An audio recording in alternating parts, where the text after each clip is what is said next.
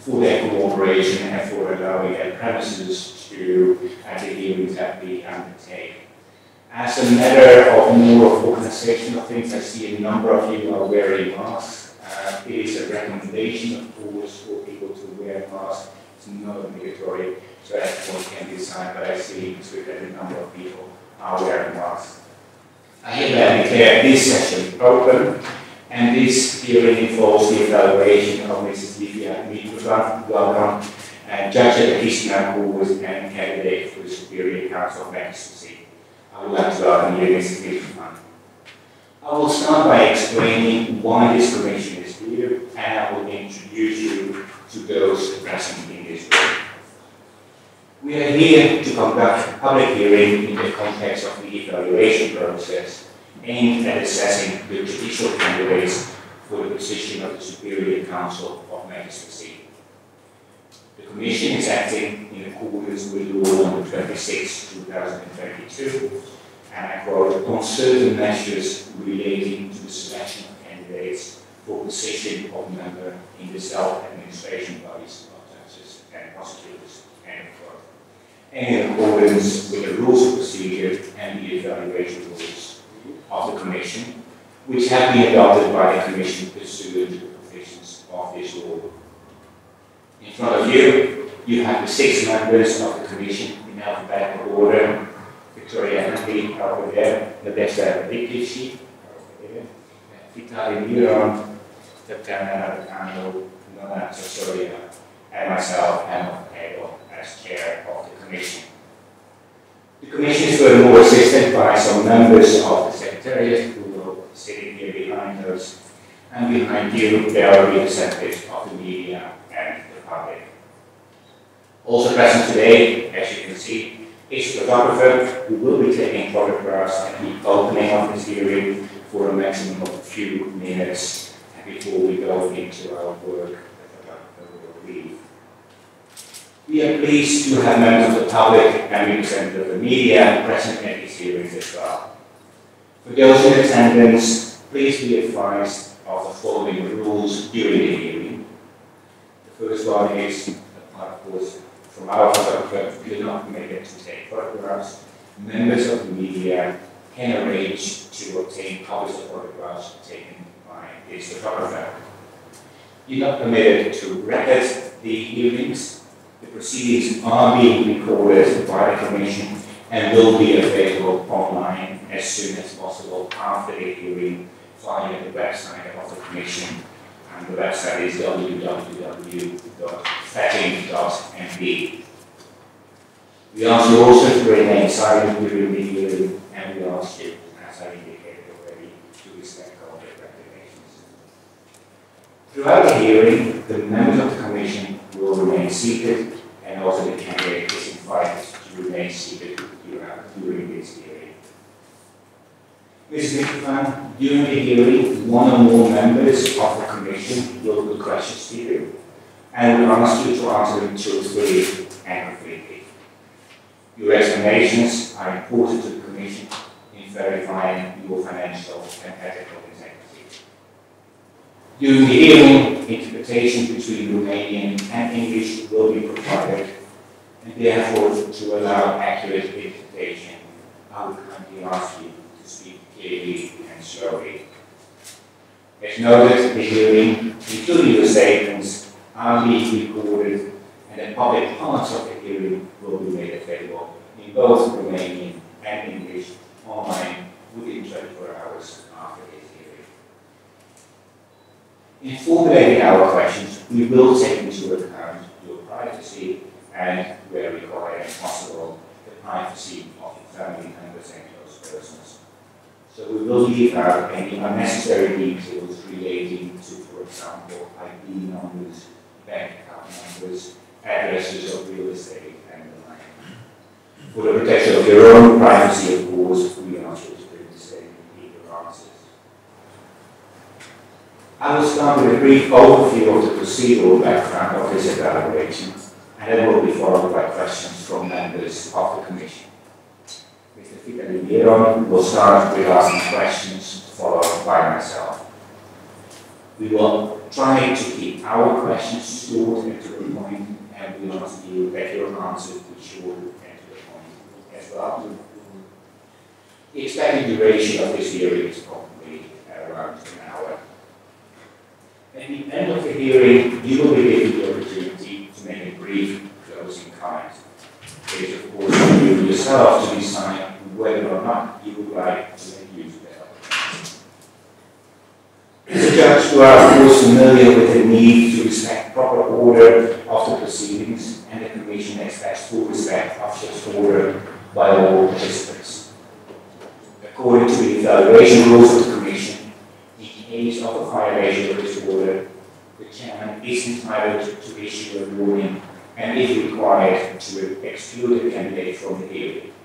I hope and expect that there will be no need to make use of this power. On 8 July of this year, the Commission sent you a request for submission of the five-year declaration of assets and personal interests. On 14th of July, you submitted your five-year declaration. The Commission also asked you, asked all candidates to voluntarily complete and submit. And you did so, and you submitted your ethics questionnaire on 30 June this year. The committee sent you two rounds of questions. The first one on 22nd of August and the second on 6th September of this year. Your responses were submitted in time on the 26th of August and on 8th September, respectively. You were asked a total number of 12 questions, consisting of 25 sub-questions, and 13 of the questions included a request for further documentation. You answered all questions and sub-parts and produced documents in response to all our requests. The Commission appreciates the timeliness and completeness of your answers, as this has facilitated our evaluation of tools considerably. I will now turn the hearing over to Mr. Vitali Miron to commence the questioning.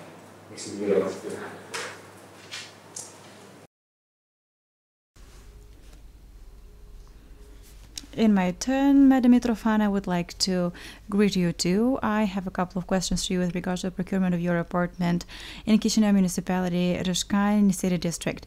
Now, a little bit for the context to have more clarity. In the period 2008-2014, your mother lived and worked in Israel. She's transferred regularly funds to the bank accounts that you owned.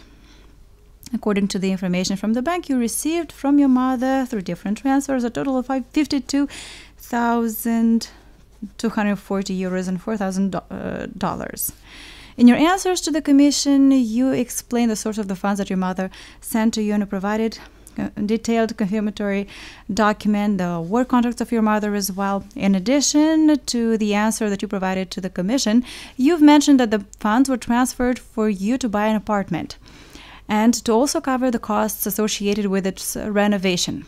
On the 16th of July 2012, you've purchased an apartment in Rishkan city district of Chisinau. According to the sales and purchase agreement, the value of the apartment was 256,428 lei. In addition to the written questions from the commission, you provided an answer according to which well, you said that at the time of the procurement of the apartment, the apartment was not inhabitable. On that same day, however, there were several transactions on uh, your bank accounts. On one of them, one of one of the accounts was a deposit account in euros, and therefore, on the 16th uh, July 2012, to that bank account, there was an, a cash inflow of 33,000 euros, about 513,000 euros. Lei. On uh, the 17th July 2012, the balance was about 36,000 euros. On that same day, on the 16th of July 2012, on that date, you you withdrew 36,000 euros, about 542,000 lei. You also had a deposit account in dollars on that same day, the 16th of July 2012. There was a withdrawal of $1,550, about 19,000 lei.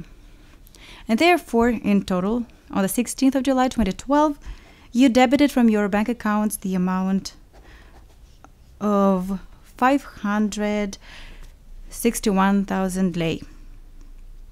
In your answers to the commission, you said that the total amount from your account on the 16th July 2012 represented the amount that you used to purchase the apartment in Chisinau Rîșcani district, but the declared value of which, which was a bit more than 256,000, and the difference worth a bit more than 305,000 was used for the renovation of the apartment and for purchasing furniture. Now, the Commission would like to ask a few follow up questions to gain more light and clarity around this matter. Now, the questions are Can you confirm that your mother lived and worked in Israel from 2008 to 2014? And did she transfer leg- regularly funds to your bank accounts? Greetings. I have the opportunity to greet you all and to thank you for the opportunity to be the first one. It's an honor and a burden for me as well. Now, with regards to the question, I would like first to mention that both of my parents worked abroad. They left back in 1994 and they returned home in 2014. So, me and my sister, we grew up alone, and all the money that was being transferred was used, well, starting with 2008, that is, because in the questions that you've asked, you so mentioned 2011, 2014 in the questions that you wrote to me, but you mentioned 2008 is when I graduated from, mm, from a university, so that money was used for day to day maintenance. As for the apartment, we indeed bought it in 2012.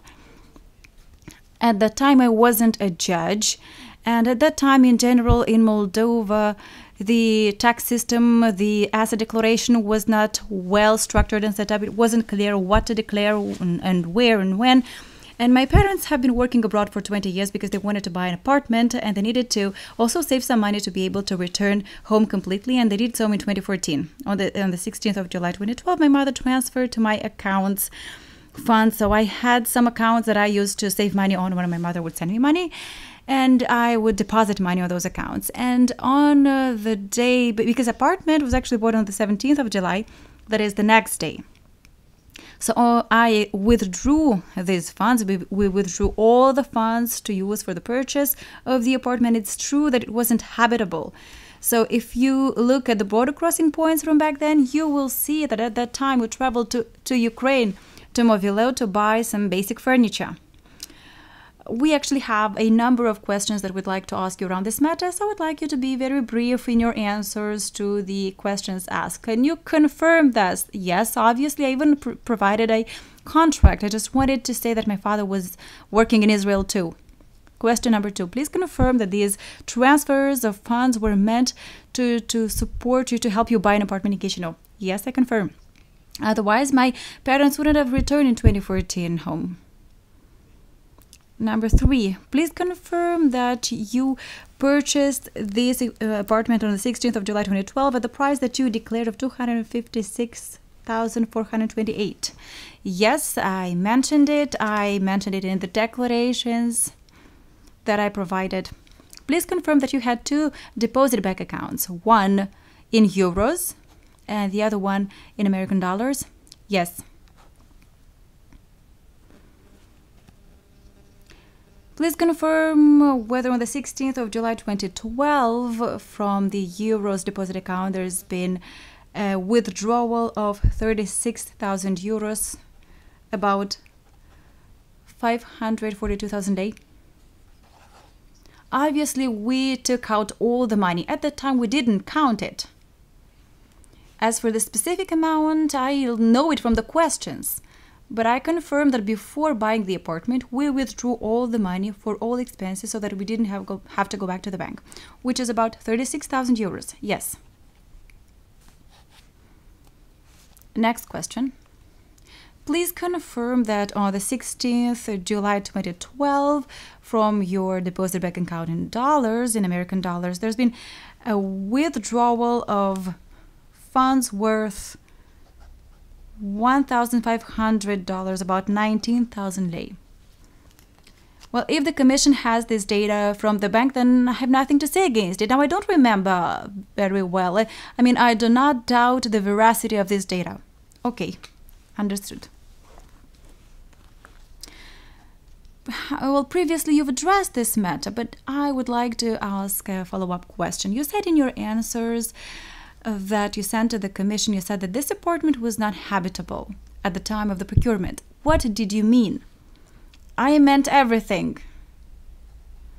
And the bathroom, we didn't even have the pipes right. It's a two room apartment in a Khrushchevka type building. And I still live there. There was no toilet facilities, bathroom facilities. There was nothing in the kitchen. And we need to do to change all the pipes and we need to put new wallpapers on the walls because it was in a bad condition. We had to renovate the veranda. And in addition to that, I must tell you that the people who renovated our bathroom did not do a good job with connecting the pipes. They uh, did it wrong, so we had to have it redone. We had to change the pipes again. That is to say, well, everything actually, the power cables and um, the cables were very old and we couldn't get proper light in, so we had to change all uh, all this. So these are details. But if the commission would like to have any pictures from back then, I can find them back at home.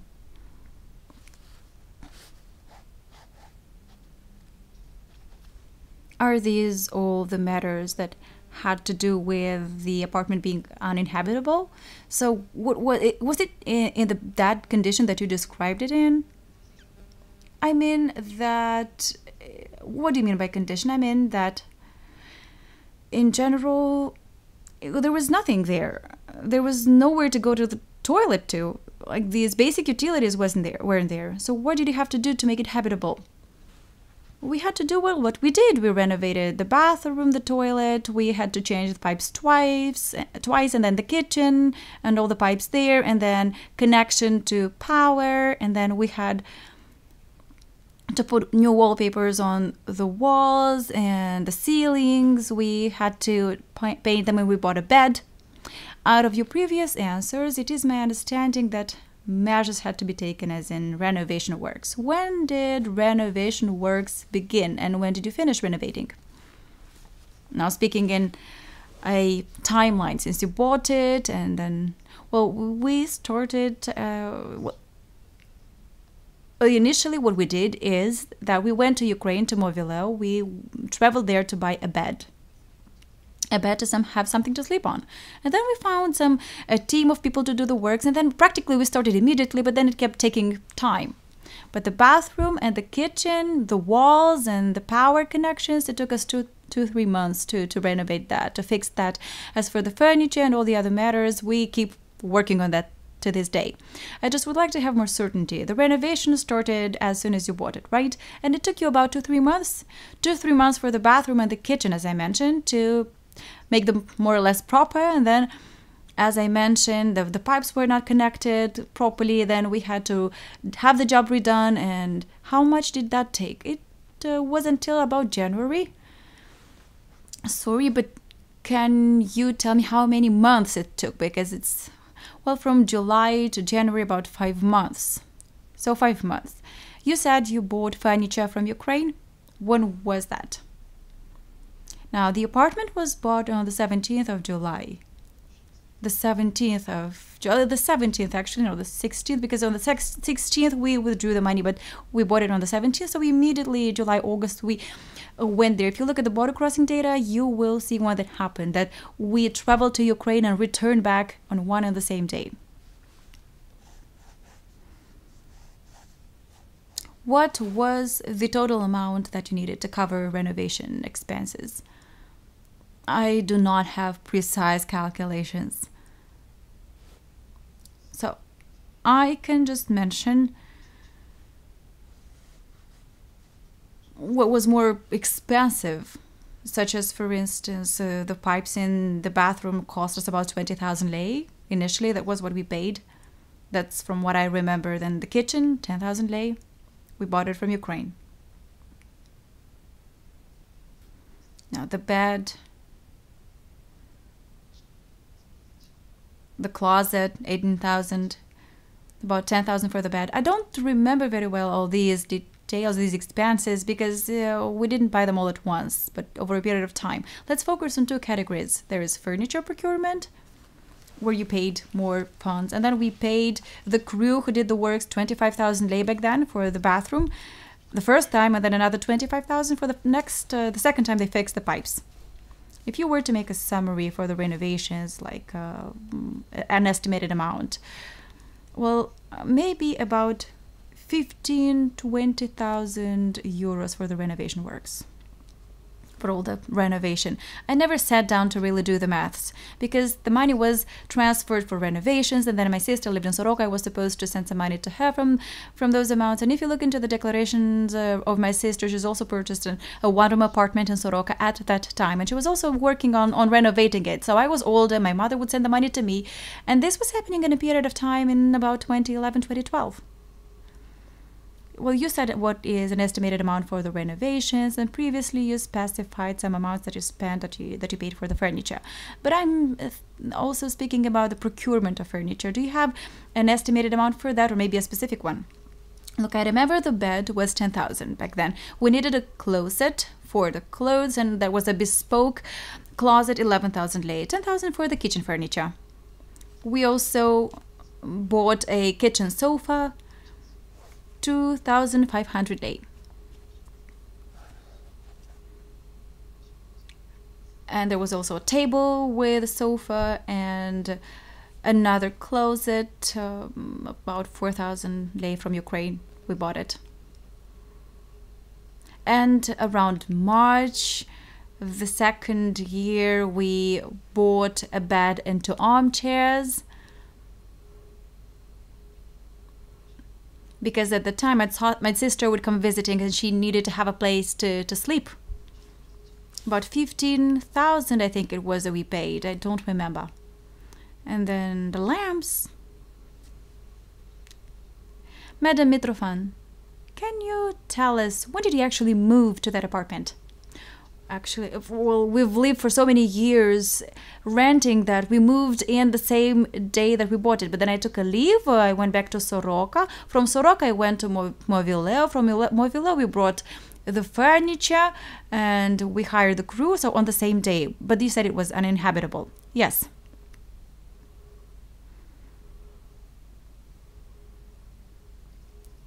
You did not live back in the 90s in the countryside can you say that again, please? You didn't live in the countryside back in the 90s.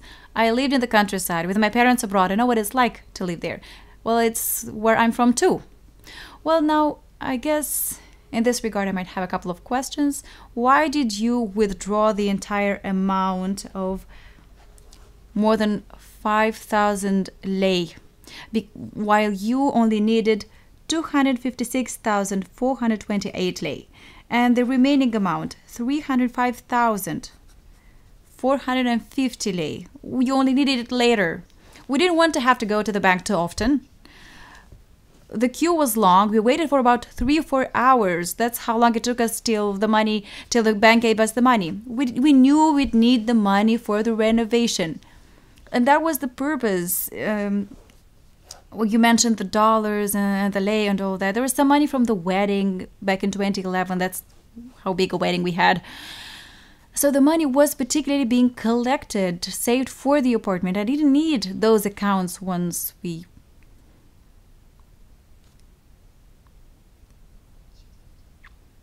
And that was happening back in 2012 when I was not even thinking about becoming a judge. Now, an uh, additional question in this regard, if you don't mind. Please explain the economic reasoning behind extracting the entire more than 500,000 amount in lei, considering that you had this deposit account, you had two deposits accounts actually. But if you would have kept the money there on the account, then you would have had some additional income. It's now that I can ask myself these questions. But at that time, what was the annual interest rate? Six? Six percent? Then how much revenue would, would I've earned? How much income would I've earned in time? And then the money on those additional accounts that you mentioned. We had our wedding on the 3rd of September 2011. So if you look at the contracts that I signed, those are amounts the 3500 something my, my mom sent me 5000 lei. Then there was a 19000 that i think is dollars. That's a uh, deposit account with uh, money from the wedding that i was keeping there. And at that moment in time we were not thinking about earning something out of keeping money in the bank. Our only goal was to get an apartment where we would live. We were not thinking about any additional income whatsoever. Madam Mitrofani, thank you for the answers. Um, esteemed chairperson, no longer, I have no more questions in this regard.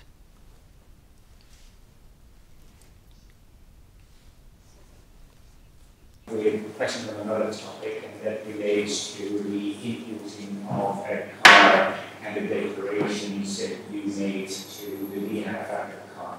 So, um, according to the information that we have and that you also provided to Commission, uh, your husband imported the car in uh, late November late October 2011 from Germany, um, and it was officially registered on the 31st of January 2012. Uh, that is a car that was Mercedes uh, Vaneo uh, from the model year 2004. According to the information from the customs services, the contractual value was 48,000 in May. Uh, and in addition, uh, at the time, your husband also paid customs taxes amounting to uh, nearly to, uh, 22,000 a uh, 21,862 to be precise. In the declarations that your husband submitted to NIA in the years 2013 to 2021, every year the value was declared as a total of 28,494 lei. Um, when you started declaring, uh, as of 2017, you also declared the very same amount in your yearly declarations. Um, in both the first and second round of questions, the, committee, the Commission did ask you uh, and submitted some questions to you, and you provided some answers, but I still have a few follow-up questions to you on this matter. Um, first, I mean a very short question, and I think you can also answer it very shortly. Can you confirm that your husband imported that car on the 21st of October 2011? No. Can you also confirm that the purchase price of the uh, car was 48,000 No, this, Um, and, and can you also confirm that there was no sale purchase contract for this car at the time? It was on the basis of the declaration filed with the customs service. But then if there was no sale purchase contract, what was the basis for this, for this 48,000? Where did they figure the 48,000 come from? That was the amount paid by my husband when he bought the uh, car, and it was on the basis of the customs declaration. So there wasn't an agreement, and we've looked for it at home and on the basis of the customs declaration. There was the price that was paid for. And, and the customs taxes actually declared were indeed, what was it, 28,862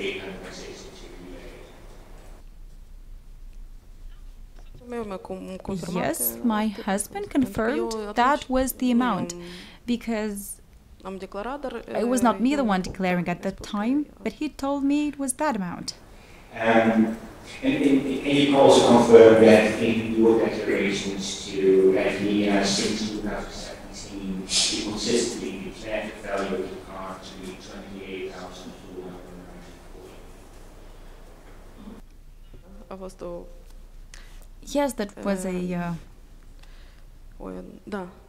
Yes, yes. Well, my question then, the following question is, where does the figure of 28,000 come from? It was, it was neither the purchase price, it was neither the customs price. Uh, where does this figure come from? 21 de mii. Not 21, but 28. Oh, so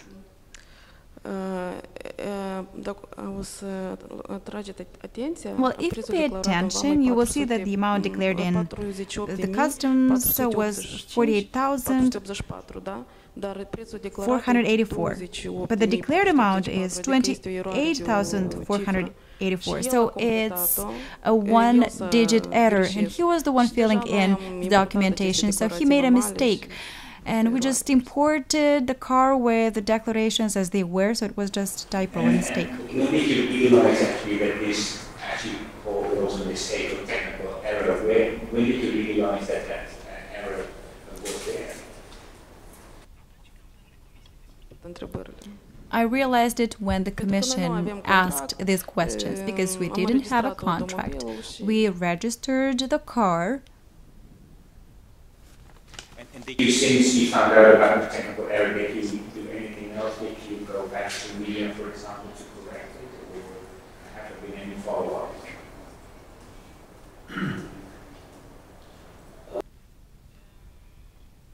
No, because at the, at the time we were well now we're trying to funcțional și dacă sell this uită la revizie car. It's not 2020 nu a operational since 2012. It hasn't passed the vehicle fitness test Pentru că nu poate, because mm, it's well it's just not operable technically speaking. And the pentru cumpărare a value for sale, sales value was about mii de lei și valoarea 2000 euro se schimbă, 2000 și- euros that is about 20,000 lei and the value is not changing so we parcat didn't în even casa try and the the, the car is parked right next to where we live I have no further questions on this issue. I'm just looking around whether any of my colleagues have any questions. If that is not the case, then I would like to give you now a brief opportunity to make a closing comment. If you would like to, feel free to do so. You don't have to.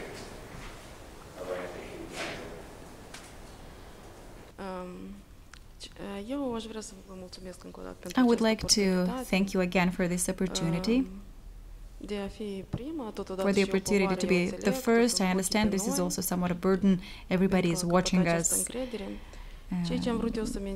um, vrut eu să menționez, atunci to gain the trust. What I would like to say that is when that when I was answering these questions, I was feeling like, din sistem și you know, like the commission should actually find the millionaires in the system, but they found me with this apartment that is care 46 square până în ziua meters. de azi cu doi And I keep living there in this apartment with my two children. sper că acest exercițiu o să fie benefic But I hope that this activity will turn out to be beneficial for us and for our vrea să menționez society. că atunci când scriam, I would like to mention that when I was writing the answers, I was feeling like I was confessing to a priest. uh, Dar uh, eu înțeleg și conștientizez că However, I asta este șansa understand, I recognize this is the chance of the judiciary system uh, to rehabilitate its image pentru că este and to trăiesc în toți, inspire to others trust and confidence because it's hard to work when everybody says that the system is de fapt nu este corrupt, that the judges are corrupt, and it's not actually like that. straniu pentru că And it was also trebuit să dau somewhat strange because I had to explain where crescând 20 de ani fără I had this apartment from. I grew up without parents for bani 20 years, but never did the government ask me how did I make it without my parents for 20 years. I would come back home and put the wood on fire to heat the house, and we didn't have a washing machine, and we were children. And at that time, the government wouldn't ask us how we made it through, but now we have to sit and provide explanations. So it was quite interesting an endeavor. I wish you good luck in the future, and I count on your fairness and objectivity of the Commission. Thank you.